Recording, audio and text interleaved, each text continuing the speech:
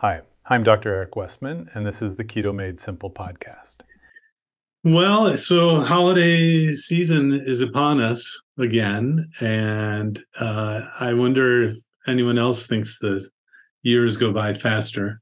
And I was reminded of how I got into this in the first place. Uh, that two of my patients did this something to lose over 50 pounds each. And they um, told me they did, you know, the Atkins diet, or all I did is, is eat steak and eggs. And I was curious and didn't know much about it. One thing led to another. I ended up in Dr. Atkins' office in New York City and asking him for money to fund research. So for me, that was 25 years ago and we've done research and and used the diet in uh, various uh, medical conditions ever since. So it was really Dr. Atkins who was open enough to actually invite me and my staff to New York City, which has was a, a learning experience for me. And, and that's what I do now is I get it up in front of a room of doctors and say, you're welcome to visit my clinic. That's how I got into it. And there's so many barriers that make it so that doctors can't believe or or you know don't understand that often a visit to the office is necessary to overcome all of the you know i don't know 20 different major barriers to thinking this is possible and people can do it and stick with it and so i learned from my patients about this approach. I'm still learning. And uh, the reason I was reminded of this is that Gary Taubes has a new book coming out. If you haven't read any of Gary Taubes's works, they're phenomenal. You can go to, I think it's taubes.com uh, and and find his list of, of, reading of books that he's done. Um, Gary has a book on diabetes coming out in January. I've signed up to get it, uh, you know, as a pre-order at Amazon, and actually, I've been able to read the pre-publication version. So again, I, I'm thankful for Gary, you know, to be able to let me read it ahead of time, and and I hope I actually help shape the final product. I didn't get to see it, but there were lots of sort of milestones that happened along the way in the treatment of diabetes and how it got off track. And uh, so, anyway, I, I I'm thankful for other people teaching me, me, me being able to teach other people, and and of course the ultimate goal is to improve human human health, your health. And um, so, if this is your first holiday coming through, uh, let's learn from each other. You know that's what the membership's for. If this is your twenty fifth holiday, like me, uh, and uh, uh, I still struggle with. I don't like that word, but I hear it all the time. I struggle with you know candies and and certain foods that are around. They seem to just come out of the woodwork this uh, this time of year. So various strategies uh, were um, uh, uh, one of the things you can do, and it may if this is your first holiday, you might want to just be totally strict and or abstinent of the carbs. And and I say that just because early on, depending on how long you've done it, not eating those carbs, they they can derail you. They can get you off track. And I've seen some people do really well till Thanksgiving, and then you know um, you get off track you you thought you were going to do great and but then you know finally the you did third day into the holiday weekend you you caved you had some carbs you're beating yourself up today. And and i just want to get that out of your head. You can have a holiday. And and this is a, strategy that kind of violates the you know strict uh, abstinence or nothing. It's sort of the the alcoholism sugar addiction model it violates it because if you if you truly are an alcoholic you really should never have alcohol. That it, but it's i think it's a different entity. The first time you go through the holidays stay super strict or if you did slip it's okay. You get back on track. If you ate some carbs over the holiday you get back on track today. There's a whole month before christmas or or hanukkah or kwanzaa or if you don't celebrate any of those things, again, carbs will come out of the woodwork. The psychologists get into this in a big way because if you give yourself permission to eat carbs, then you're not full of the shame and the guilt and the, the self flagellation that can happen. It's so easy to do. And, and so uh, giving yourself permission to have some carbs on a holiday gets rid of that for most people. Now, not everyone, and and certainly there's a uh, element of I wish I could have done better all the time. I, I uh, hear that so frequently. You know, uh, I lost ten pounds over the month, but I could have done better. I, I had that one one day I had carbs. You know, no, you do the best you can, and progress, not perfection, is really the mantra we have. And so, but, but, it, you know, if you can sail through Thanksgiving, you didn't have any carbs, fantastic. Uh, hopefully by now you've done it long enough so that the carbs aren't calling your name or, or tugging at you. It's almost like a, a magnetic pull, you know, it's, there's nothing physical, no string pulling you toward the, the food, but hopefully that has faded and you've done it long enough so that you can be around the food without necessarily having it. Um, the other aspect of of the holidays, other than choosing, you can choose to go off plan, get right back on. You can choose to stay on plan. That's your choice. The other aspect of that is that this happens all year round. So it's a strategy that happens during uh, birthdays, anniversaries, any kind of celebration that you, you have a choice. You can give yourself permission to eat carbs, get right back on, or decide to not have them. Now, let's say you're faced with carbs, you decide you're going to have them. My preference is that you minimize the damage. In other words, have as little of them as you can.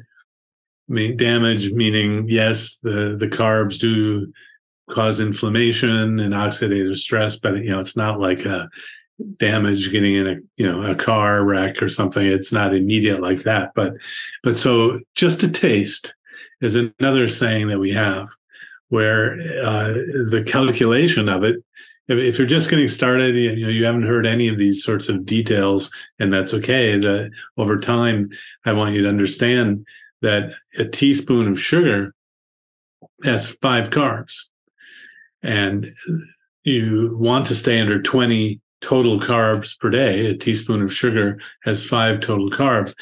If on the holiday you had a teaspoon of sugar, like even in your coffee or something, or just right from the spoon, you probably could stay in ketosis and stay on plan, even though it looks like you're violating the no sugar, because it's the amount that matters.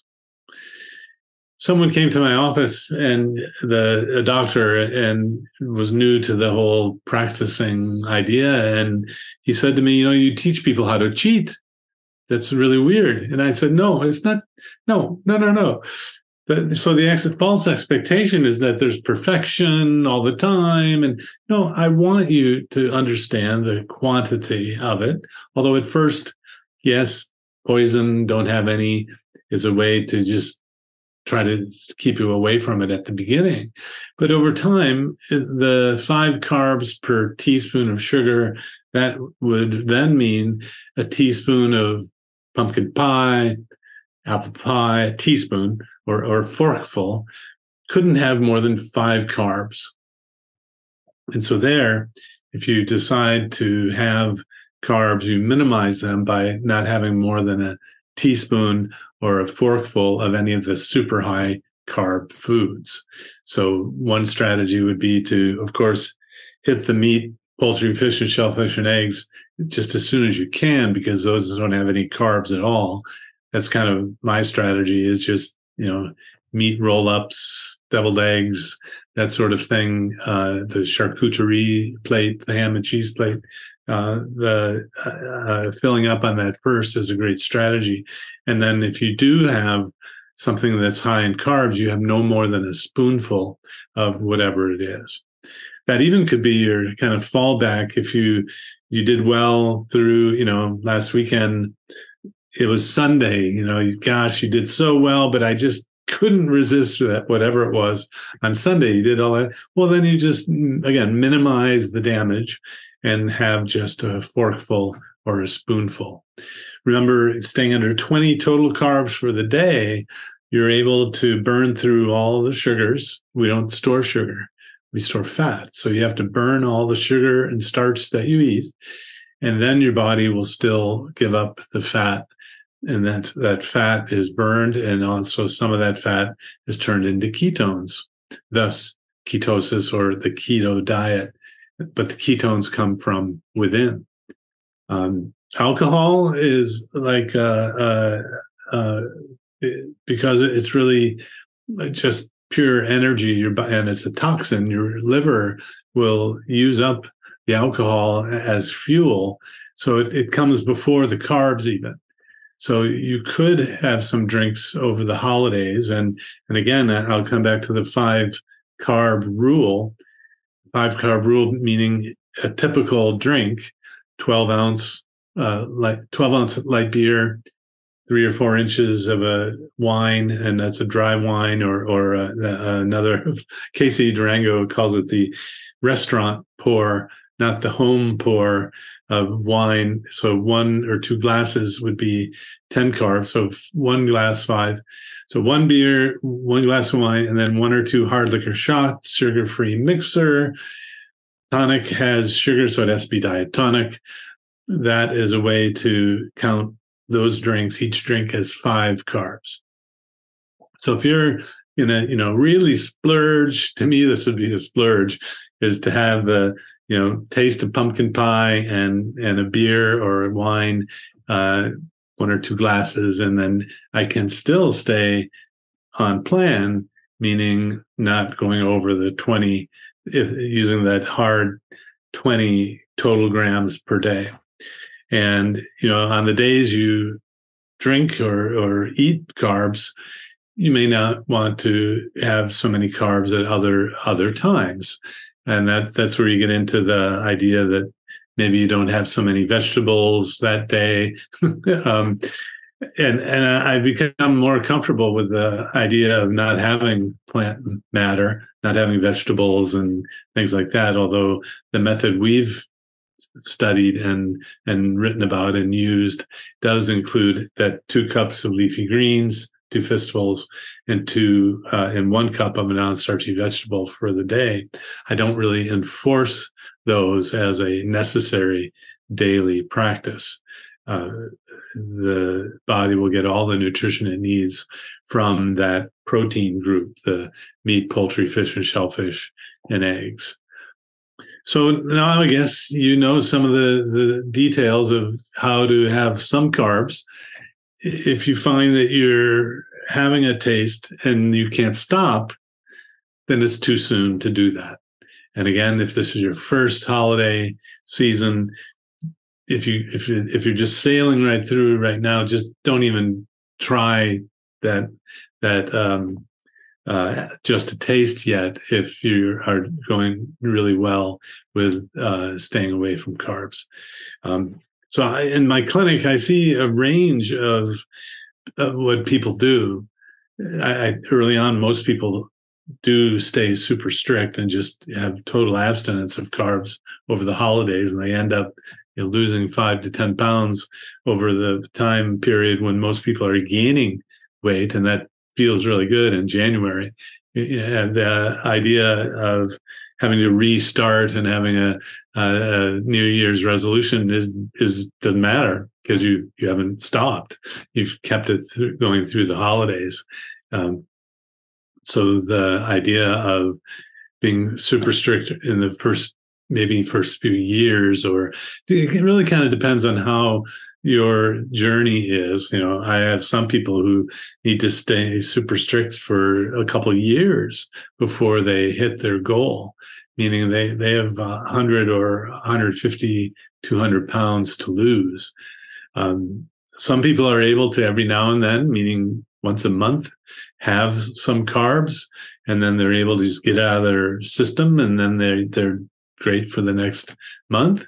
Um, what we've learned though through uh, small pilot studies that we've done is that some people especially if you've had a long lifelong history of trouble with weight and carbs some people are knocked out of ketosis and don't really get back into weight loss for two weeks after they have some carbs. And so that would be pretty frustrating if you said oh well i need some carbs to stay on plan but and you had those carbs every two weeks but that stopped your weight loss for two weeks, then that's not going to be working. So uh, the, that's why we are super strict about staying on plan, staying away from carbs. Uh, you know, all the time. It, it's like a medicine you take every day for for high blood pressure. A medicine you take every day. It's not like ibuprofen. You just take it every now and then, or or uh, I mean, can you imagine going into your doctor and saying, Doctor, can I just take that high blood pressure medicine six out of seven days? Or or, or can I just take it, you know, um, on Monday and when you know, anyway, during the weekdays and and no, you really have to take it all. You have to follow the diet all week, all month long if you're someone who has that tough kind of metabolism. So that's why we teach the very strict version for everyone to make sure that everyone gets uh, the results.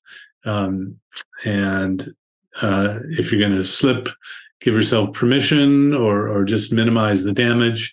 Um, what about if you're hosting a the the Thanksgiving meal or or a holiday meal?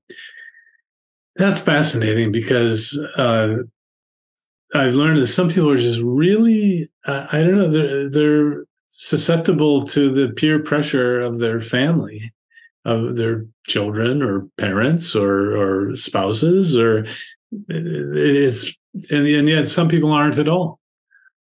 Uh, fascinating how that that can work. So, but you can cook all the old carby things if you have family coming in and they expect all those carbs and just again minimize the amount that you have. Uh, or you can ketify change some of the things into low carb uh, versions. Uh, have you tried lately the macaroni and cheese version of, of cauliflower version of macaroni and cheese if you haven't found Linda's low carb website yet, Linda's low carb recipes and menus website, there's a really cool, um, popular version of a macaroni and cheese called macaphony and cheese. Yeah, maca like you know fake.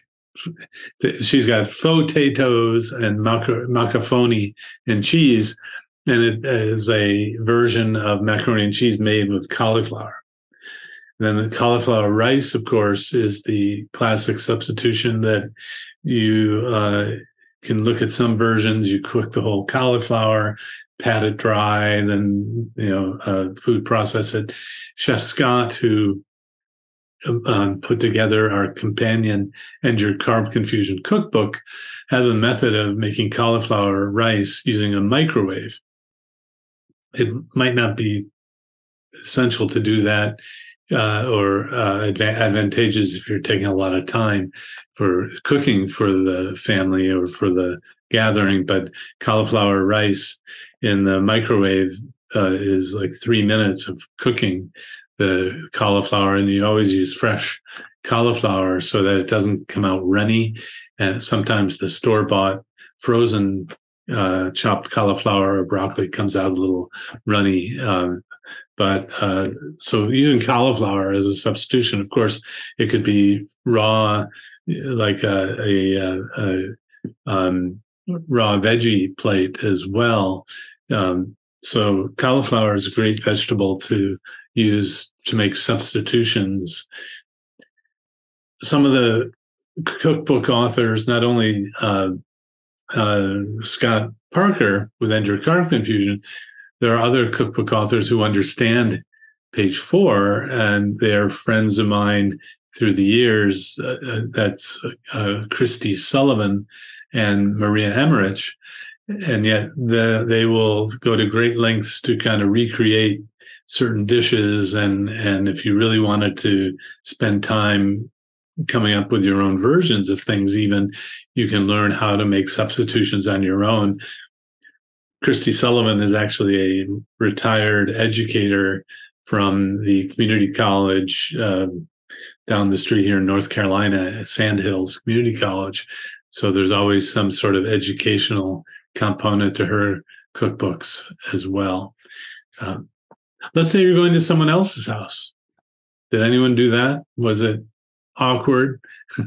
do uh, did you figure out how to navigate being elsewhere? Did you were you able to bring a plate of deviled eggs? Everyone loves them, and and or some other keto friendly dish. That's a strategy just to make sure that there's something there.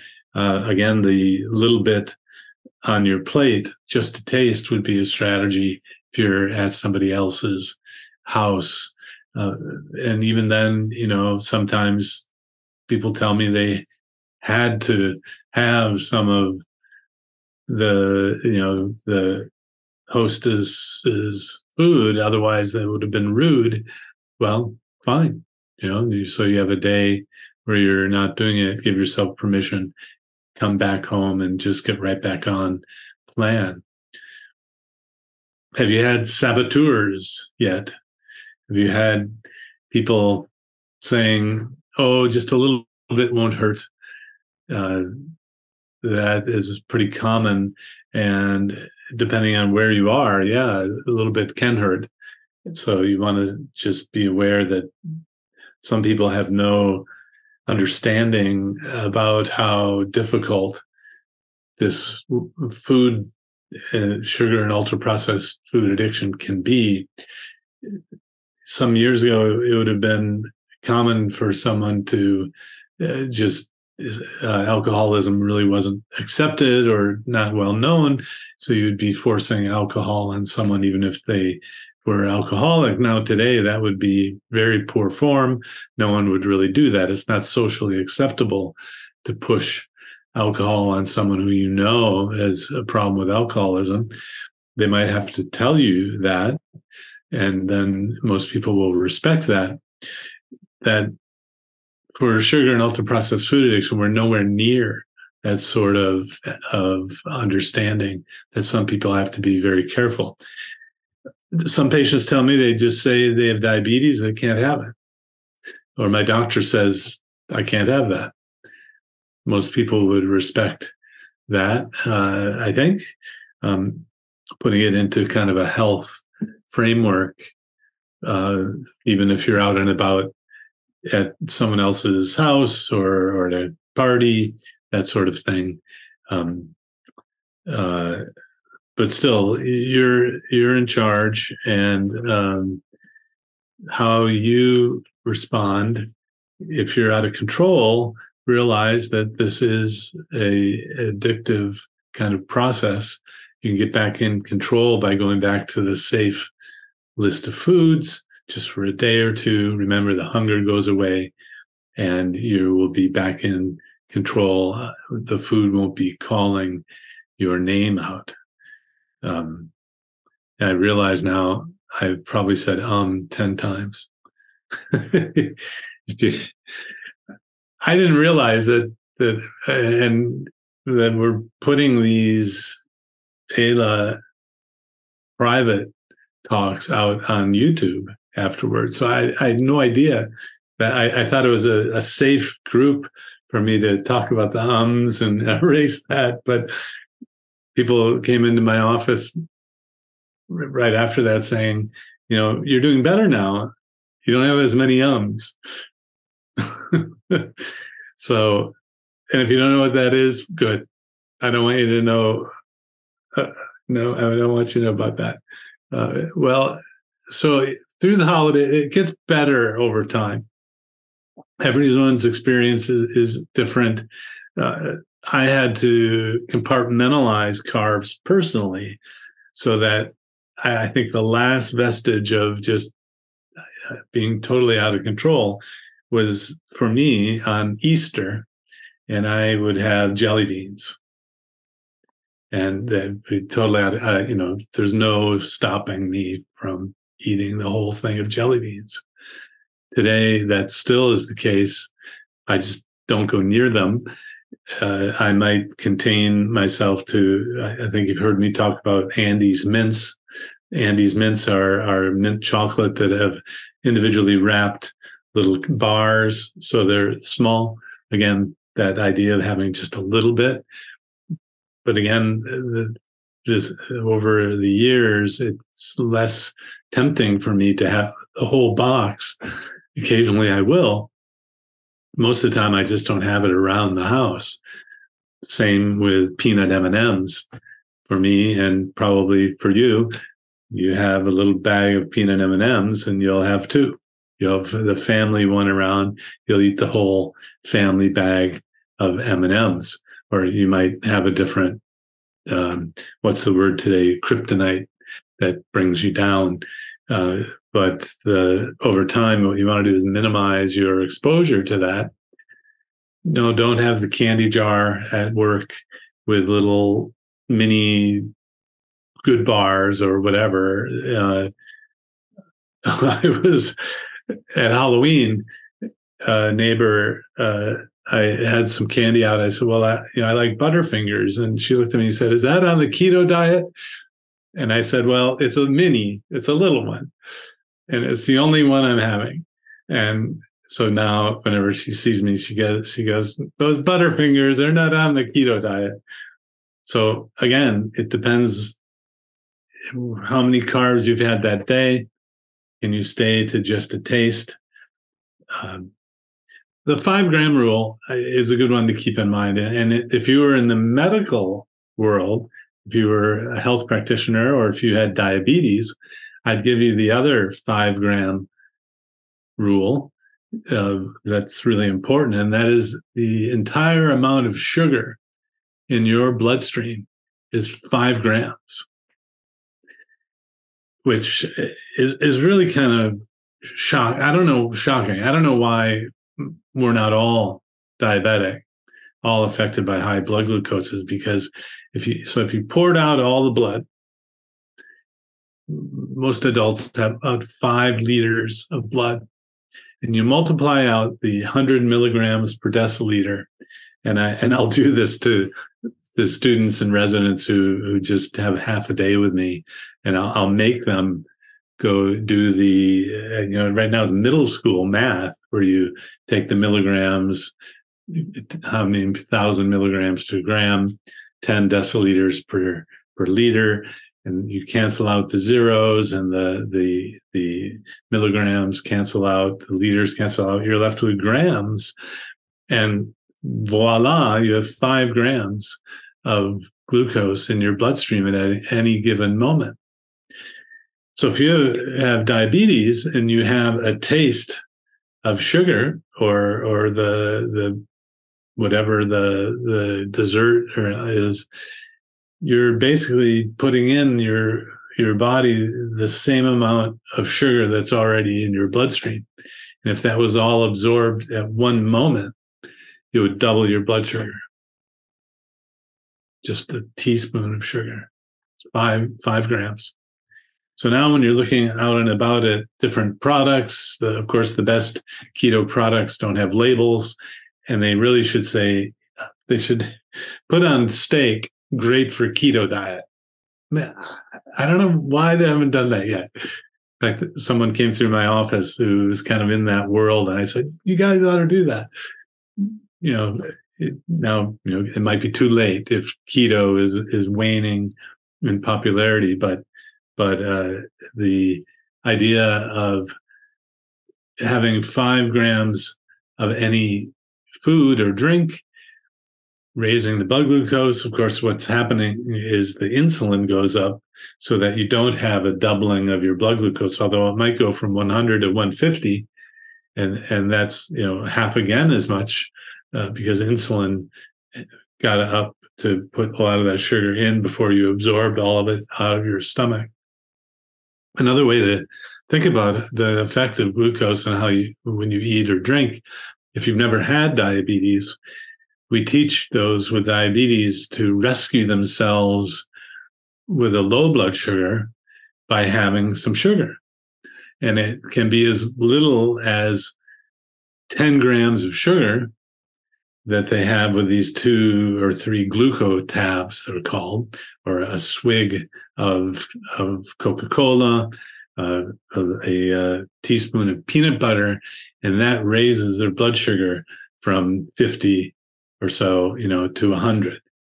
So again, that just shows you the effect of a small amount of sugar on the bloodstream. We we tell people to have these two glucotabs to bring up their blood sugar from being too low to being higher. Uh, so uh, that's just another example of how little glucose we have in the bloodstream at any given moment. And to me, that means we want to be very careful about how much we put in because the glucose and insulin uh, interplay is a major factor, if not the most important factor, in terms of health for our arteries, for for inflam- inflammation, which then opens the door toward things like cancer and and uh, neurologic disease, autoimmunity, all those sorts of things. So be careful about the the sugar going in. The starches get digested to sugar. That's why I teach total carbs, so that the um, labels are consistent and I can teach it in a simple system to people from all walks of life or from all uh, uh, educational levels. Someone came into my office who who, uh, went through high school only, and by the end of the the time we had together, the person looked on the Coca Cola or Pepsi, one of those, and had 41 grams of total carbohydrate in that that can. I hadn't looked at one in so long. And so she knew even by the end of that first encounter that by teaching with different labels that you want to go for zero grams uh, f- for beverages or, or one or, or, or two, staying under 20 for the day, and you keep your body in nutritional ketosis. Well, I'm going to uh, open up for any questions that you might have. How you know how did Thanksgiving go?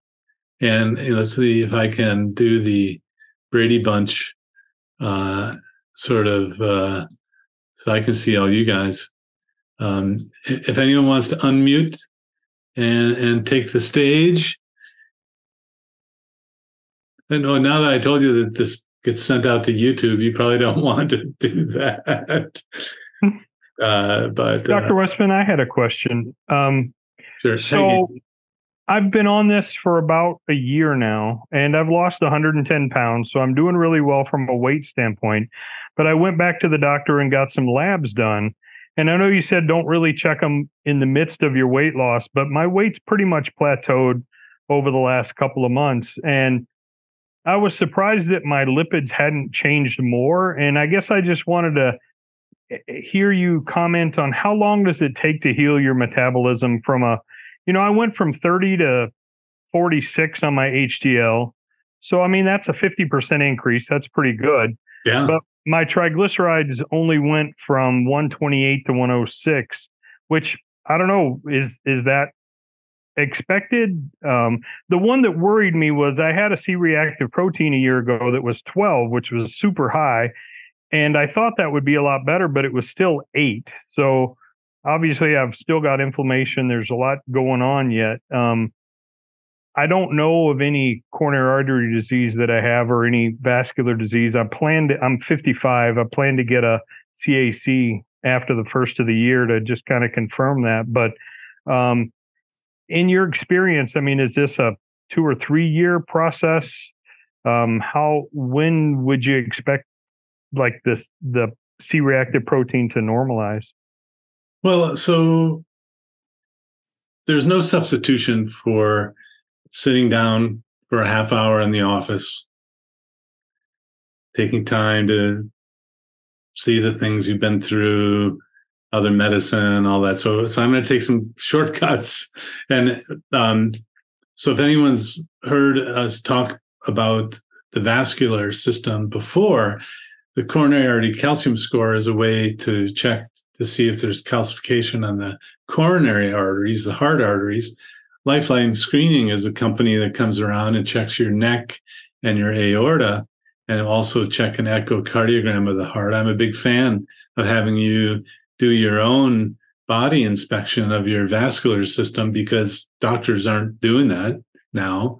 And, uh, so for $150, you can get the Lifeline screening.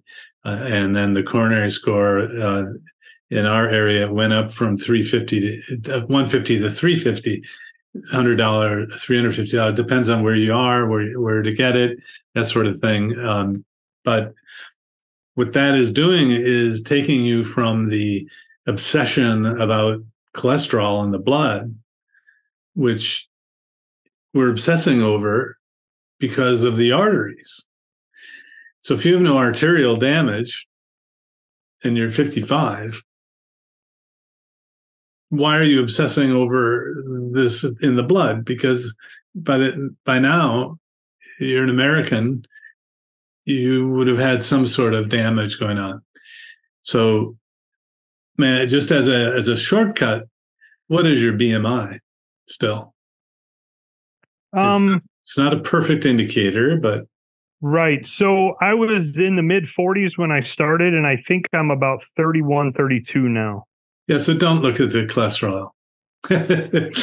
ah, I know, but so the reason for that it's a little known, little known thing about uh, uh, metabolism from obesity medicine. So that's the field. Uh, my second subspecialty, internal medicine, obesity medicine, and now keto medicine. I guess is the third one, but the metabolism it, you know, it, when you check something, you don't know where it's going, right?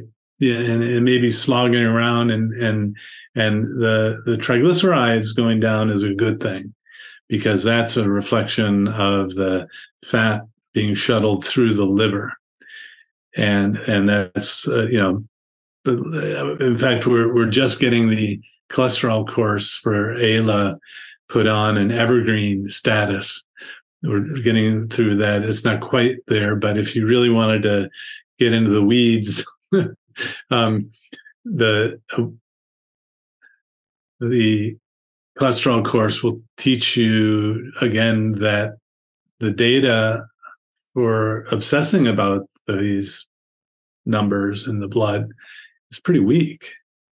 It's pretty weak if you have no evidence of arterial disease it's it's even weaker.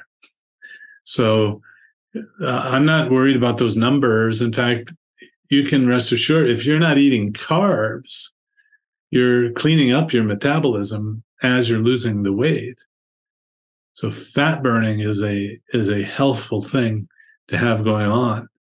So the in the short run, I guess the indicators could be that what's the glucose insulin A1C? Have those improved? So I didn't check my insulin. So I actually started this because I was I'm I work in healthcare myself, so I recognized in myself a year ago that I had polydipsia, polyuria, I had um, some blurred vision. And I'm like, well, I know where this is going. So I went out and got a glucometer and I was in the 300s fasting. Never been diagnosed with diabetes and it's still not on my chart, but I guess now we're going to put it on YouTube. So hopefully the insurance company's not looking. but at any rate, um, you know, and now my fasting is routinely in the 80s. And it came down within about two weeks. Yeah. Yeah. So, So, it's been it's been normal for over, almost a year now. did you ever have an A1C measured when the blood sugars were in the 300? Yeah. No, because I just did it myself. I didn't go to the doctor.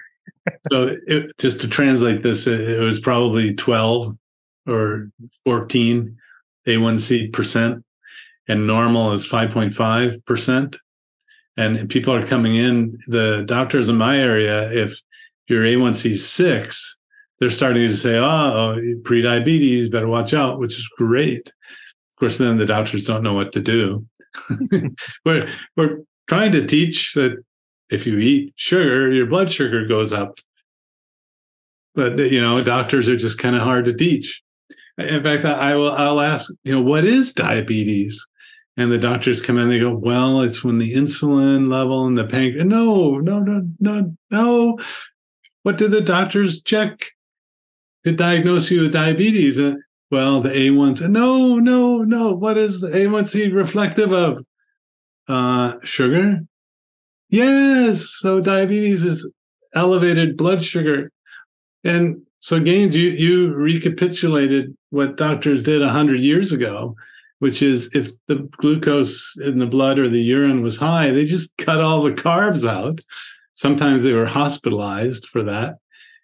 The type ones probably were super sick, and and the the poly, you mentioned polyuria. That's the you're urinating all the time. Polydipsia, you're thirsty all the time, and the uh, you know you violated the guidelines. You were supposed to be on insulin. we uh, published a few papers saying that in there, and you know the guidelines are necessarily reactive, and yet when you think about it, if we're training physician assistants and nurse practitioners and, and even some doctors who aren't fully trained in all the pathophysiology, we train them to follow guidelines.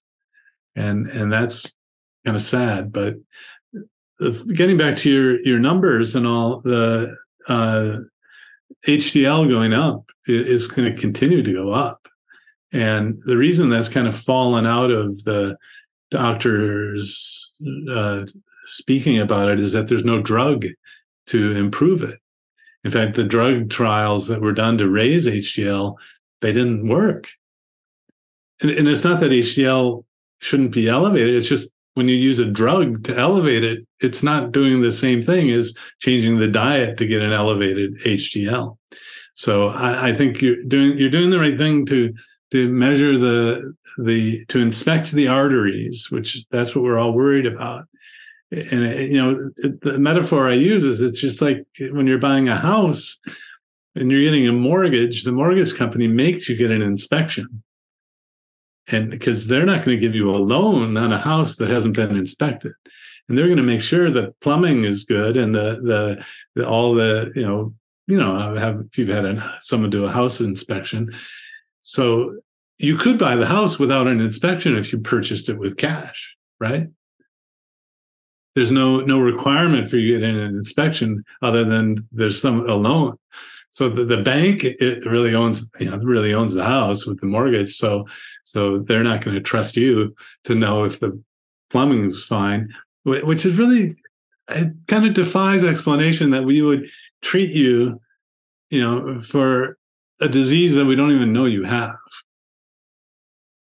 And so the cholesterol, elevated cholesterol is not a disease. At best, it's a predictor of atherosclerosis. And there's an interesting paper that I haven't been able to read. Uh, the American Heart Association apparently is coming out to endorse more metabolic syndrome as a root cause of something to target. But the there are always the guidelines that are are are pharmacology or medication focused will always focus on things that can be improved by medication and not give uh, attention to lifestyle.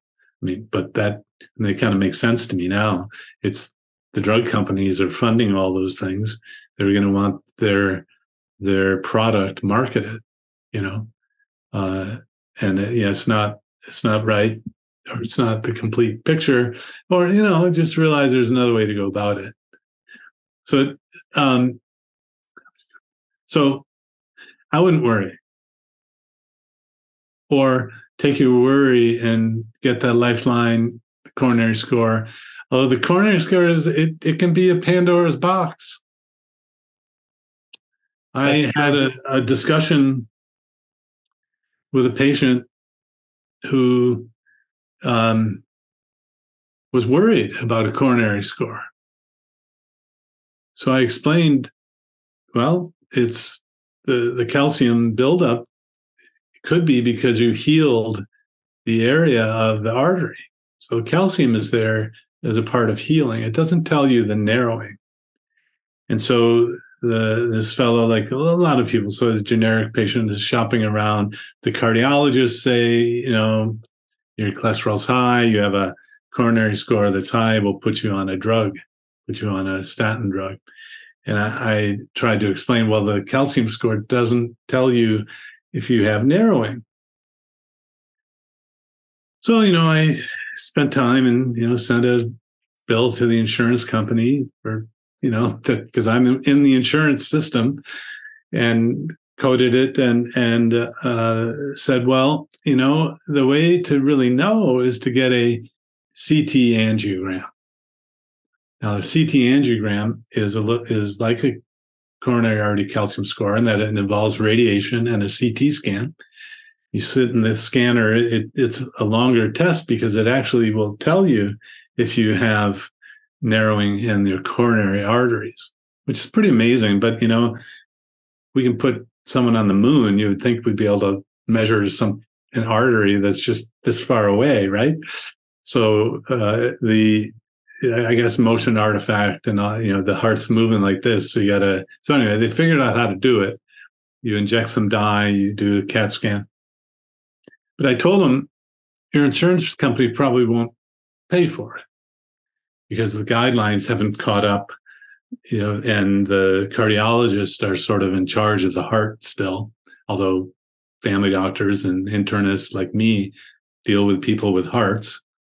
and you know, I send people to the that little institution, the Mayo Clinic, and have people look at the statin decision aid tool, the Mayo Clinic, and go through that with people, and then send a bill to the insurance company.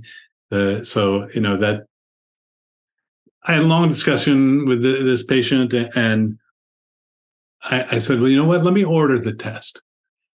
I, I hadn't done it here, uh, you know, at Duke. Really, cardiologist reigns supreme. So I, but I thought, well, what the heck? Let's see if I can order it. So I ordered the test for him, and we called in, and the insurance company won't pay for it. It's going to be twenty five hundred dollars or so. He, in the meantime, goes to see another doctor, a cardiologist, who says, I wouldn't recommend that test.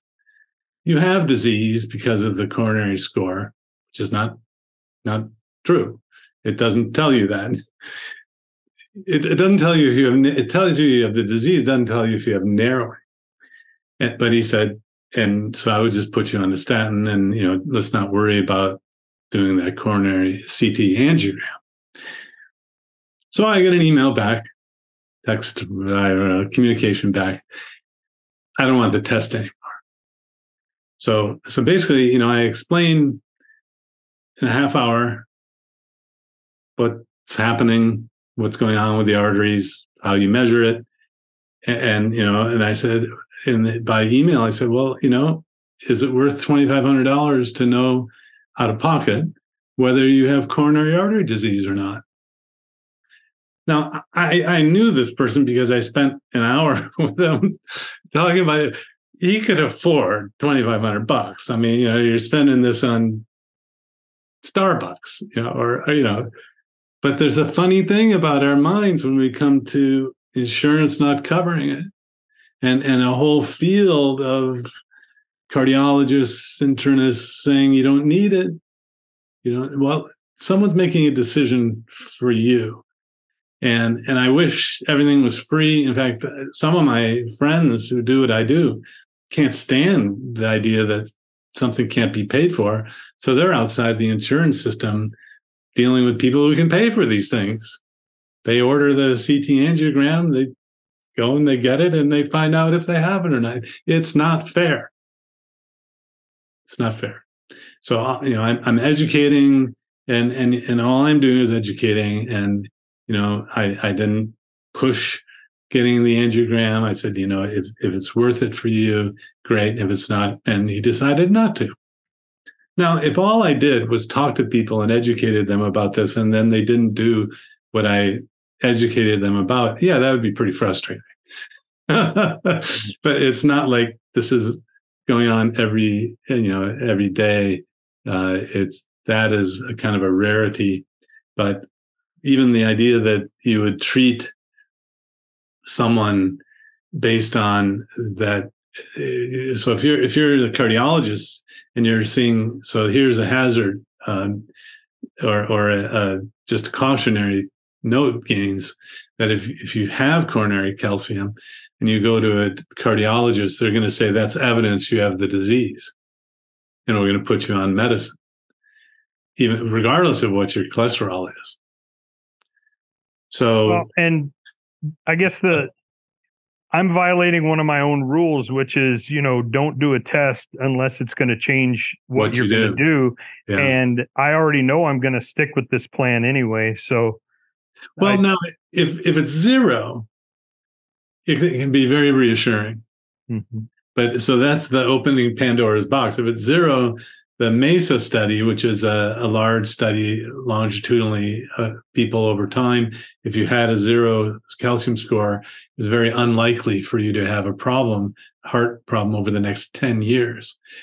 There are papers written, and I, you know, if you don't know yet how to search PubMed, in fact, that's something I might show you sometime.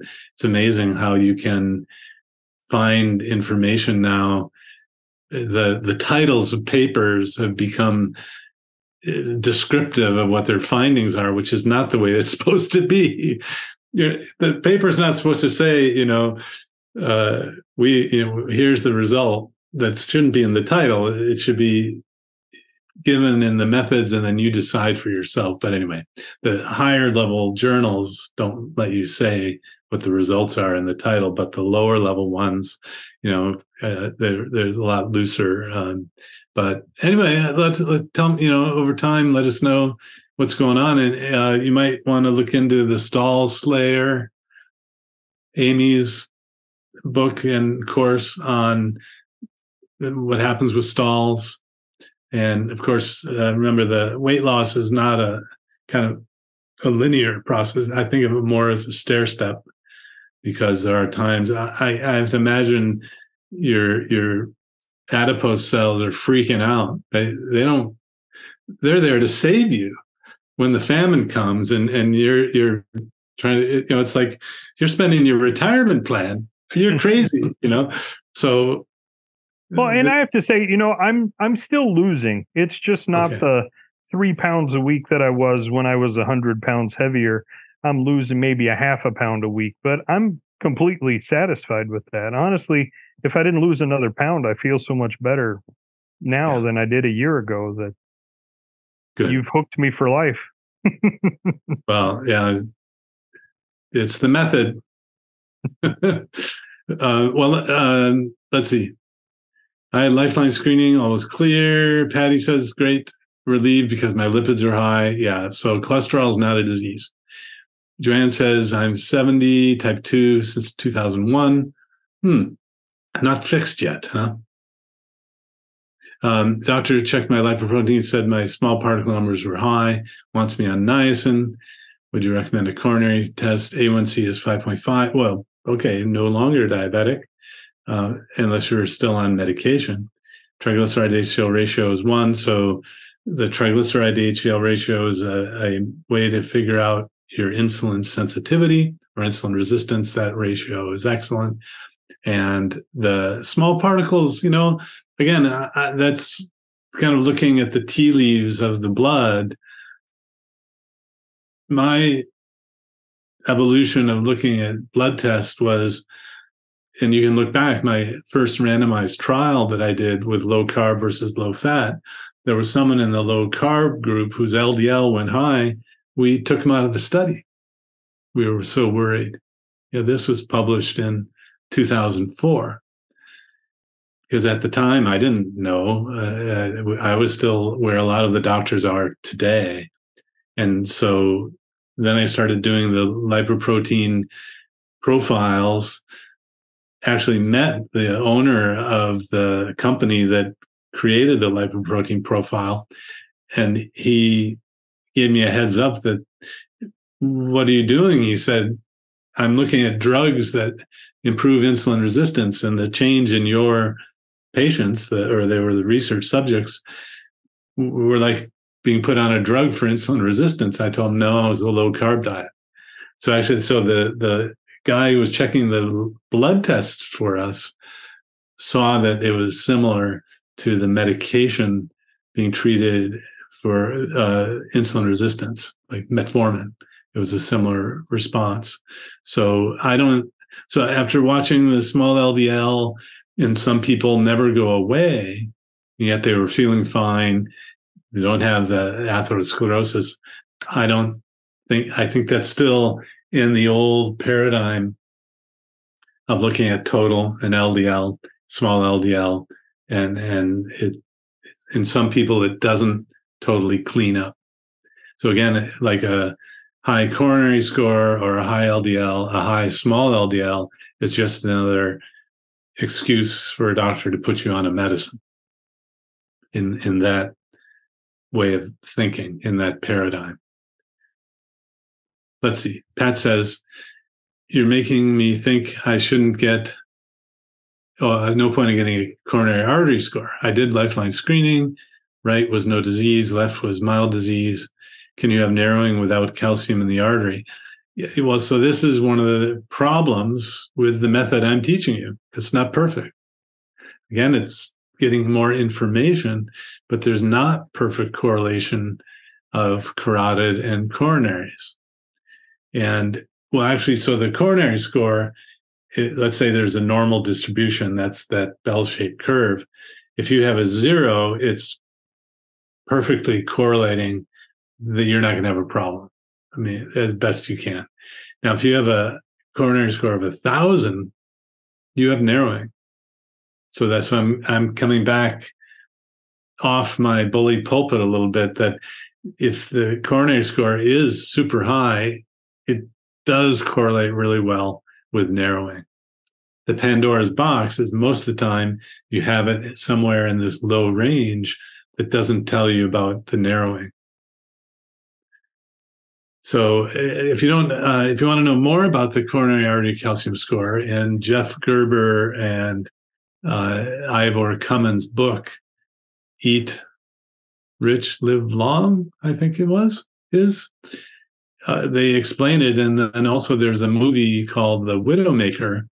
And so the whole idea of, of popularizing this, yes, there's a group in Miami, Dr. Agatston doing coronary scores for a long time, but it really reached pop culture and in, in the keto verse, keto internet, keto world, because a a um, rich man had the coronary score. They looked and saw that it was at the area of the of what was called a widowmaker. So you can actually see where the calcium is in the heart. And because of the location of the calcium and the amount that was there, they did another test, and basically he had a, a narrowing. And this is a, a one reason for bypass surgery or intervention because it's called the widowmaker is called that because if you have a clot or a, a, a occlusion, a blockage at that point, the whole left ventricle, the whole pump of the heart stops. And and basically it's if, unless you're around medical care you become you know you make your spouse a widow. So sudden cardiac death. So this rich guy gets it writes the movie the widowmaker and and and it saved his life apparently. I mean you can't really know without some sort of randomized trial but it you know uh, gave him a heads up that something was was lurking there. They fixed it and he wanted to popularize the notion of getting a coronary artery calcium score. So if uh, so what happens is you're finding that these rare events rarely and the more common thing that you're finding is that we all have a little bit of calcium over time because of the healing going on. So i don't know pat i think more information is i think good as long as you're not then kind of bullied into taking action about the information uh, I, I, think uh, if it comes out zero, it'd be reassuring. Uh, and still on metformin. Okay. Well, with uh, A1C of 5.5, and I'm not sure if you need metformin anymore. You know, doctors have trouble getting taking you off medicines. They don't have a class in medical school for that yet, unless they rotate through my office. or geriatricians. I, I, take that back. Geriatricians also deprescribe. Uh, I, I, share office space at Duke on the same hallway with geriatricians, and they uh, deal well. The average person uh, uh, has polypharmacy, meaning there's so many drugs that are being prescribed. They also take away medicine because uh, often there's memory loss, memory impairment, even statins can do that, or even uh, mild drugs that wouldn't affect younger people can affect the elderly and have side effects. So they do a lot of deprescribing as well. Um, let's see. Um, HDL of 90. That's fantastic. the it's funny there's uh again there's no drug that can raise your hdl well niacin gemfibrozil a little bit and then exercise doctors will tell you you can exercise and raise your hdl 10% so that would take you from 60 to 66 you know or 40 to 44 not 40 to 60 right? So keep cut those carbs. um, again, the uh, Evergreen will, we're testing out the Evergreen concept, meaning you could go to the Adapt Your Life Academy 24 7 and purchase the cholesterol course.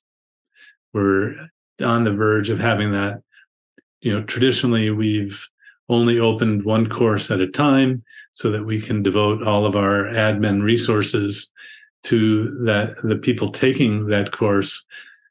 But we, when we get enough people on a, a waiting list we open it uh, we're uh, it, apparently it's very difficult to set this up. I i you know not being an internet guru i'm like come on just do it. And it takes a long time. So but that would give you more than you'd ever want to know about cholesterol. And the long story short if you come to the office i explain this and then i go to the statin decision aid tool that the mayo clinic has put together put in your numbers comes up with pictures what your risk is now what your risk would be if you took a medicine for treatment. Of course this is based on those who eat carbohydrates, which is always the apples and oranges comparison. For just about every chronic medical condition that I see, cutting carbs gives you an, an advantage so you don't have the same progression of disease as those carb eaters out there.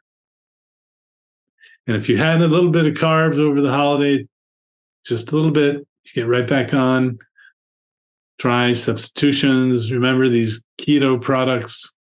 Just be careful. Look at total carbs.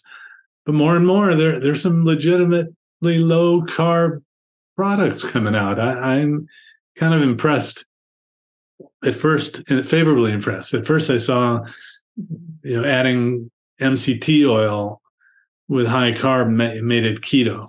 Like, no, no, no, no. But you need the first most important thing about a keto product is that the total carbs is low. And then in the context of whatever else you're having for the day matters. So if you're eating carbs and you add in a keto product, that's not a keto diet, right? Uh, quick update. So, the Society of Metabolic Health Practitioners, I'm on the board. We're trying to teach people, not doctors, not surgeons, not uh, they, you could be dietitian, you could be physical therapist, you could be a coach. The way I look at it is we're t- trying to teach relief workers how to go in and clean up a disaster, which is kind of our current chronic medical problems in uh, the Western world. So the Society of Metabolic Health Practitioners has worked on several guidelines to support the use of low carb diets. It's a great group of people. I, am thinking of uh, toward the Boca meeting uh, next month.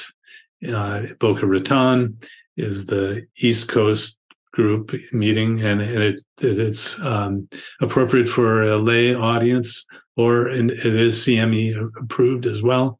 And then their fall meeting is in San Diego. So that's called the uh, Society of Metabolic Health Practitioners Symposium.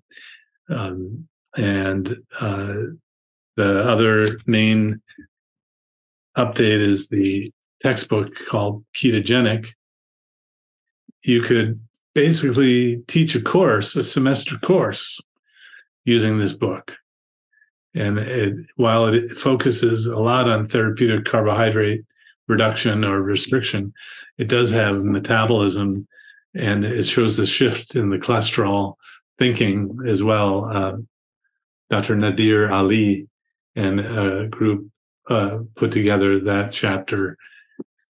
Blair O'Neill is a past president of the Canadian Cardiology Association, and he's written a few papers about this shift away from total and LDL cholesterol to triglyceride and HDL in the blood. But I, I think we can take it a little further in personalizing a decision for you based on whether the arterial system shows you have evidence of the disease or not. Well, I hope you have a wonderful holiday season.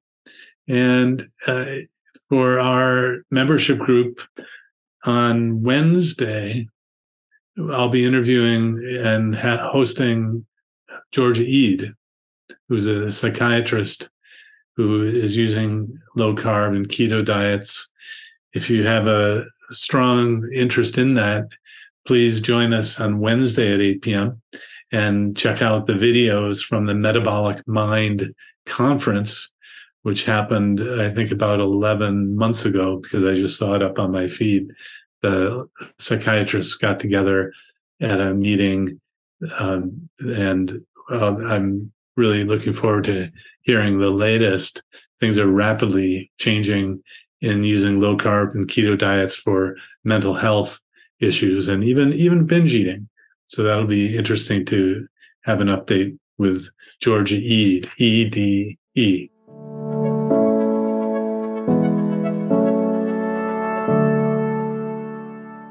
If you enjoyed this video, be sure to like, subscribe, and hit the notification bell, and check out adaptyourlifeacademy.com.